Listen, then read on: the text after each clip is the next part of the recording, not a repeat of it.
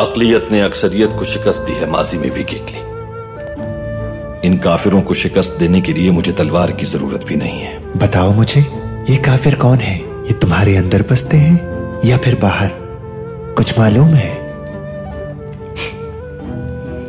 अब समझा। ये मेरे अंदर भी है। बातिल ने इब्राहिम अलैहिस्सलाम को आग में डाला यूसुफ अलैहिस्सलाम को कुएँ में ईसा अलैहिस्सलाम पर जुल्म ढाए और मूसा अलैहिस्सलाम को पहाड़ों पर भेज दिया।